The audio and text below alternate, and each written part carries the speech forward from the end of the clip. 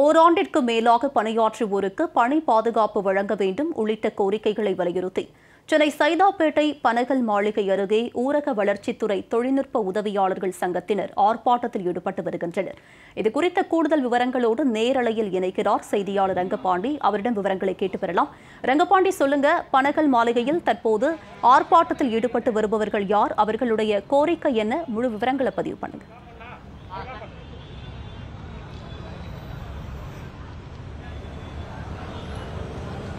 வணக்கம். தமிழ்நாடு ஊரக வளர்ச்சித்துறையினுடைய தகவல் தொழில்நுட்ப பிரிவு உதவியாளர்கள் சங்கத்தின் சார்பாக தற்பொழுது சென்னை பனகல் மாளிகையில் இருக்கக்கூடிய ஆ, மாளிகையில் இந்த போரா ஆர்ப்பாட்டமானது நடைபெற்று வருகிறது. இவருடைய கோரிக்கையானது ஓராண்டுகளுக்கு மேலாக பணியாற்றக்கூடிய பணியாளர்களுக்கு பணி நிரந்தரம் வழங்க வேண்டும். இவருடைய ஊதியத்தை தொகுப்பூதியமாக வழங்க வேண்டும். மற்றும் மகப்பேறு காலத்தில் பணியாற்றக்கூடிய பணி மகளிர்களுக்கு விடுமுறையிடம் கூட ஓய்வூதியம் வழங்க வேண்டும் உள்ளிட்ட பத்தொன்பது அம்ச கோரிக்கையை வலியுறுத்தி இந்த ஆர்ப்பாட்டமானது தற்பொழுது இங்கே நடைபெற்று வருகிறது. கிட்டத்தட்ட இருநூறுக்கும் மேற்பட்ட இந்த இந்த சங்கத்தைச் சேர்ந்தவர்கள் இங்கு இந்த போராட்டத்தில் ஈடுபட்டக்கூடிய சூழலில் தற்பொழுது நாம் பார்க்கக்கூடிய காட்சியானது சென்னை பனகல் மாளிகையில் ஏராளமான இந்த த- தமிழ்நாடு ஊரக வளர்ச்சித்துறை தொழில்நுட்ப உதவியாளர் சங்கத்தின் சார்பாக தற்போது இந்த ஆர்ப்பாட்டத்தில் ஈடுபட்டு அரசுக்கு எதிராக கோஷமிட்டு வருகின்றனர். தற்போது இந்த சங்கத்தினுடைய உறுப்பு தலைவர் நம்மிடம் இருக்க அவரிடம் கேட்கலாம். சார் வணக்கம். உங்களுடைய கோரிக்கை வந்து என்ன? இந்த கோரிக்கை எவ்வளவு நாளா ஒன்று அரசு நிறைவேற்றாமல் இருக்குது? தமிழ்நாடு ஊரக வளர்ச்சித்துறை தொழில்நுட்ப உதவியாளர் சங்கத்தின் சார்பாக மாநில அளவிலே இன்று சென்னை எங்கள் துறை அலுவலகமான பனகல் மாளிகை அருகே பல மாவட்டங்களில் இருந்து கிட்டத்தட்ட எட்நூறுக்கும் மேற்பட்ட தொழில்நுட்ப உதவிகள் நாங்கள் இன்று பத்தொன்பது அம்ச கோரிக்கை நிறைவேற்ற கோரி இன்று இங்கே கூடியிருக்கின்றோம்.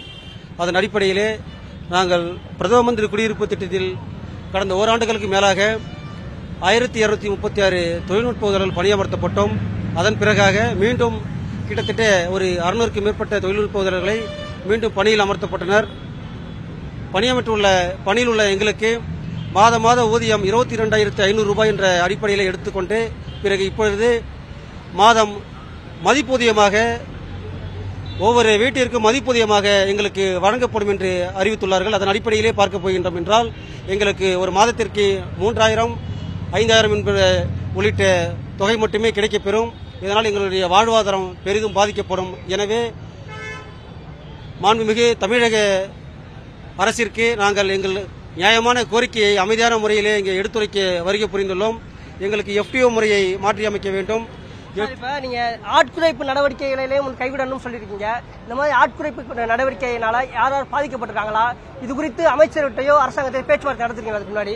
ஆட்குறைப்பு நடவடிக்கை வந்து பார்த்தீங்கன்னாக்கா நிறையவே நடக்குது. ஆட்குறைப்பு நடவடிக்கை. எங்களுக்கு வந்துட்டு நாங்கள் வீடு வீடாக போயிட்டு மோட்டிவேட் பண்றது எங்களுடைய ஒர்க்கே எங்களுக்கு.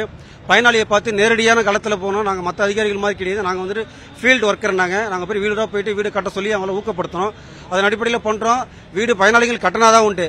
நாங்கள் வேலையில் சேர்ந்து அந்த ஒரு ஆண்டுகளுக்குள்ளே நிறைய பேர் வீடு கட்டிட்டாங்க. இப்போது யாரும் வீடு கட்டுறதுக்கான முன் வர கிடையாது. இந்த தொகை பத்தலன்ற மாதிரி வீடு கட்டது இப்போ இருக்கக்கூடிய இக்கட்டான இந்த நிலை ஒரு சில வந்துட்டு இருக்கக்கூடிய இந்த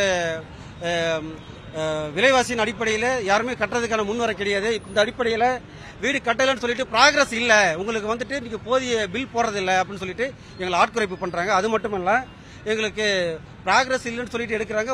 மாசம் மாசம் பாத்தீங்கன்னா வார வாரம் மாசம் மாசம் ஒவ்வொரு மாவட்டத்திலையும் இருக்கக்கூடிய தொழில்நுட்ப உதவிகளை வந்துட்டு குறைச்சிட்டு இருக்காங்க இது சம்பந்தமா வந்து அரசின்டையோ அமைச்சர்கிட்டயோ பேச்சுவார்த்தை நடத்திருக்கீங்களா? சம்பந்தமா நாங்க வந்துட்டு எங்களோட துறை ஆணையர் அவர்களை பனகல் மாநில இருக்கக்கூடிய பெரும் மரியாதைக்குரிய எங்களோட துறை ஆணையர் அவர்களை சந்திச்சு நாங்க மனு கொடுத்திருக்கிறோம். அது மட்டும் இல்ல எங்களோட துறை அமைச்சர் அவர்களை சந்தித்து நாங்க மனு கொடுத்திருக்கிறோம்.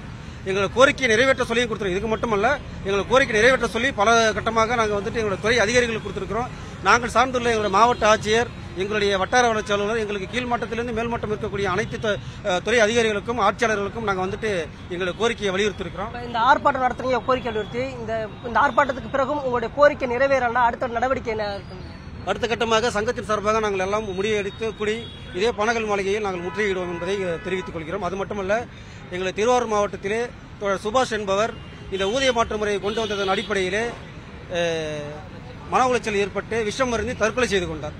அந்த நிகழ்விலே அனைத்து மாவட்டங்களிலிருந்து தோழர்கள் நாங்கள் அங்கு சென்றிருந்தோம். அந்த இறுதிச் சடங்கில் கலந்து கொள்ள சென்றிருந்தோம். தற்செயலாக ஊர் கிராம மக்கள் அன்றைய தினம் சாலை முறையில் ஈடுபட்டனர். அப்பொழுது கூடியிருந்த எங்கள் மீதும் அங்கு காவல்துறையினர் வழக்கு பதிந்தனர். அதன் அடிப்படையிலே ஒரு சில தோழர்களை குறிப்பாக பார்க்க பார்க்க போயும் என்றால் மாநில பொறுப்பாளர்களை கூட பணியிலிருந்து விடுவிப்பு செய்துள்ளார்கள். நடவடிக்கை வந்து நடவடிக்கை எடுக்கின்ற பெயரில் ஸ்டாஃப்ஸ் எல்லாம் வந்து ரிலீவ் பண்ணியிருக்கிறாங்க அந்த மாதிரி. நி- நிச்சயமாக இங்கே இங்கே போராட்டத்தில் ஈடுபடக்கூடிய ஊழியர்களுடைய இந்த பணி குறைப்பின் காரணமாக ஊதிய குறைப்பின் காரணமாக ஒருவர் ஏற்கனவே அந்த மன உளைச்சல் காரணமாக தற்கொலை செய்திருக்கிறார். மேலும் இதுபோன்று தொடர்ந்து நடவடிக்கை ஈடுபடக்கூடிய இந்த அரசின் மீது தங்களுடைய கோரிக்கை நிறைவேற்ற வலியுறுத்தி தற்- ஏற்கனவே பல பலமுறை புகார் அளித்தும் கூட இதுவரை நடவடிக்கை எடுக்கவில்லை. மேலும் இதே நிலை நீடித்தால் இந்த ஊழியர்கள் சார்பாக பணங்கள் மாளிகை முற்றுகையிடப்படும் என்றும் இந்த ஊழியர்கள் அமைப்பு தெரிவித்துள்ளது. உங்களுடைய விரிவான விவரங்களுக்கு நன்றி இரங்கபாண்டி